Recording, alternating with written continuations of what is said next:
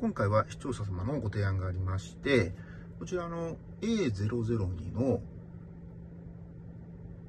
運転支援機能についてのお話をしようと思います。内容に関しては、トヨタの車、まあ、私の車で言うと、ボクシーのハイブリッドなんですけれども、まあ、セーフティーセンス、それからオプションにはなりますが、チームメイト機能がついておるんですけれども、まあ、この運転支援機能、車によってはチームメイトがついてない機能もあると、まあいうことで、ついてない車向けに、この安全運転支援系の機能が有効的なのかどうかということをレビューしてくれと、まあ、いうことで今回ご紹介をしていこうと思います。でまず、この ADAS の機能を見ていくんですけれども、でこのように5つの項目がありまして、まあ、こうしますと、警告の感度とか、速度、走行速度の設定とかできるわけなんですけれども、ざっと見ていくと、この先行車の接近お知らせ機能というのは、普通にオプションでなくても標準でついています。で、車線逸脱お知らせ機能というものも、これもオプションではなくて、トヨタの車、今の新しい車でしたら標準でついております。でさらに、通行人接近お知らせ機能というとこなんですけれども、これもトヨタの車にもついておりまして、トヨタのセーフティーセンスの場合ですと、通行人を検知することによって、減速してくれる機能が働くようになっています。なので、こちらのマックスインの機能に関しては警告で知らせてくれるんですけど、トヨタのセーフティーセンスに関しては自動ブレーキによって減速してくれる、そういった機能になっています。なので、まあ、ない方がいいというよりも、まあ、まあ、同時併用で使うには越したことないと思うので、まあ、これはいい機能な、あった方がいい機能なのではないかと思います。で、この先行者発信お知らせ機能というのは、これはもう普通についちゃってます。まあ、トヨタの車でなくても、一世代前の運転支援系がついている車でもついておりますんで、これも、まオプションにはなってない機能となっています。成功者接近継続お知らせ機能っていうのは、これはおそらく煽り運転とか、つきっぱなしの状態で警告されるということなんだと思うんですけれども、まあ、これに関しては、トヨタのセーフティーセンスにはついてないという機能になってますんで、会うと便利なんではないかなと思います。なので、まあ、これ、この通行人接近お知らせ機能とこの先行者接近継続機能、この2つがトヨタのセーフティセンスと比較したときに使える機能になっているんではないかと思います。でさらに次 BSD なんですけれども、この障害物検知、まあ、走行中ということなんですけれど、後方で、この機能がですね、今の私の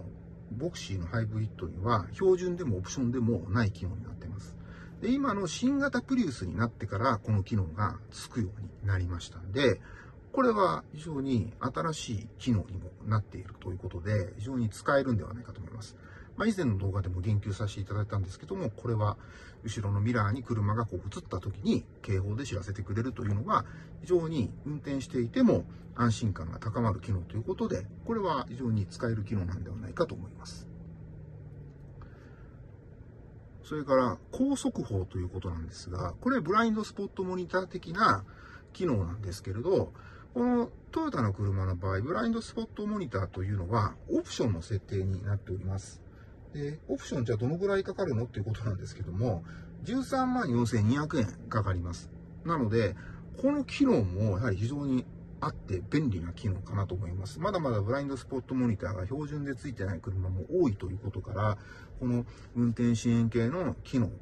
A00 にこの BSD 機能、ブラインドスポットモニターっていうのがついてるというのは画期的なんではないかということが言えると思います。で、このように全車速、低速、中速、高速ということで選べるんで、まあ自分のその走り方ですよね。まあ、どういった時にこの高速法をま使うのか、あとはブラインドスポットモニターもどういった時に使うのか、っていうことだと思うので、低速で使わないということなのであれば、中速、高速にするのがいいと思いますし、低速はいらないから、まあ、高速メインだっていうことなんであれば、もう高速とかにしたした方がいいと思います。まあ、要するに音が鳴りっぱなしの状態になってしまうので、まあ、そこが少し気になるところ。まあ、音が鳴りっぱなしになっちゃえば、音量調整をしてあげればいいんですけれども、まあ、そこはもう好みに合わせていくっていう必要っていうのがあるということになります。で、今度、こちらの障害物検知の注射なんですけど、これは、まあ、チームメイトに値する機能なんですけれども、オプションの機能になってます。SZ ですと12万6500円。SG の場合だと14万3000円かかります。まあもちろん、この警告音だけじゃなくて、まあ、車になってますんで、まあ、ブレーキをサポートしてくれるという機能にはなっているんですけれども、オプションをつけなければ警告ももちろん一切されないということになりますので、まあ、これは、これも非常に見逃せない機能の一つになってくるんではないかと思います。で、ここ今境界があるんですけど、ここに、ま車とか人とか自転車とかバイクとか、まあそういったものが入った時に、警告で知らせてくれるようになっています。まあ、そういった機能がついておりますので、まあ、これは駐車時特にあった方がいい機能かなと思います。このように、こう入れた時に、まあ今これ距離があるので認識してませんけども、こうバックした時に、